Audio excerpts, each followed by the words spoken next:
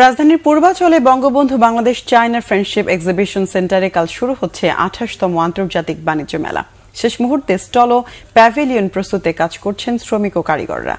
এবার বাণিজ্য মেলায় ভোক্তাদের প্রতারিত না হবার আশ্বাস দিয়েছেন বাণিজ্য প্রতিমন্ত্রী আহসানুল ইসলাম। টিটু জানান, পোশাক খাতের মতো একই সুযোগ সুবিধা চামড়া ও পাট শিল্পে দেবে সরকার, সেটিও প্রতিফলন দেখা যাবে বাণিজ্য মেলায়। জিএম আহসানের রিপোর্ট। রবিবার ক্রেতা দর্শনার্থীতে মুখরিত হয়ে উঠবে বাণিজ্য মেলায় প্রাঙ্গণ। তাই শেষ সময়ে কাঠ ও রং তুলির আচরের স্টল প্যাভিলিয়নগুলোতে প্রস্তুতের চেষ্টা চলছে। শ্রমিকরা বলছেন মেলার আগে প্রতিটি সময় গুরুত্বপূর্ণ। তাই কনকনে শীত উপেক্ষা করে অনেকটা নির্ঘুম রাত কাটিয়ে কাজ করতে হচ্ছে তাদের।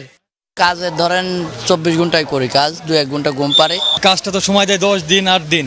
এই জন্য আর কি আমরা কাজটা সারি উঠতে পারি না। সময় স্বল্পতার কারণে আমরা যে কাজ করার পর সেভাবেই করছি হার্ডলি সোজা কথা ডে নাইটে আবার লোকজন মেন পাওয়ারও বাড়াইতেছে হ্যাঁ, প্রত্যেকটা লোক নিয়ম মাফিকভাবে প্রত্যেকটা কাজ আমরা কমপ্লিট করার চেষ্টা করছি।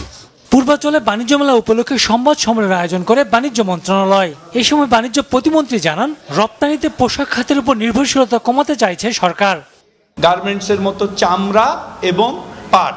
এই দুটো প্রোডাক্টকেই আরও বেশি সুযোগ সুবিধা দিয়ে নতুন বাজার এবং বিভিন্ন জায়গায় আমরা যেন প্রমোট করতে পারি এইটার আমাদের একটা মানে ইয়ের প্রতিফলন আমাদের সারা বছরই আপনারা পাবেন। যেহেতু আপনারা জানেন যে গার্মেন্টসের এক্সপোর্টের প্রায় মানে আমাদের মেজরিটি হলো শুধু গার্মেন্টস বেস নামে আন্তর্জাতিক বাণিজ্য মেলা কিন্তু মেলায় নিম্নমানের দেশীয় পণ্যের আধিক্য কেন তারও ব্যাখ্যা দেন বাণিজ্য প্রতিমন্ত্রী।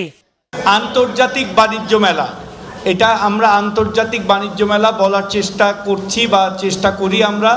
এই এই জন্য যে আমাদের এই লোকাল যে ইন্ডাস্ট্রিগুলি আছে সেই ইন্ডাস্ট্রিগুলি জানি ইন্টারন্যাশনাল একটা মার্কেট অ্যাক্সেস পায় একটা ডিসপ্লে হয়। বাণিজ্য সচিব তপন কান্তি ঘোষ জানান জাতীয় নির্বাচনের কারণে পহেলা জানুয়ারি শুরু হয়নি মেলা। তিনশো রাস্তাটা সেটি বাইশ সালে খুবই খারাপ অবস্থা ছিল তেইশ সালে মোটামুটি ভালো বাট এবার এত চমৎকার রাস্তা। আমার মনে হয় যে রাস্তা দেখার জন্য এবং মেলা দেখার একসাথে অনেকেই আসবে। এবারে মেলায় তুরস্ক ইরান ভারত পাকিস্তান সহ ষোলো থেকে আঠারোটি বিদেশি প্যাভিলিয়ন থাকবে জানানো হয় সংবাদ সম্মেলনে। জি এম হাসান বাংলা ভীষণ ঢাকা।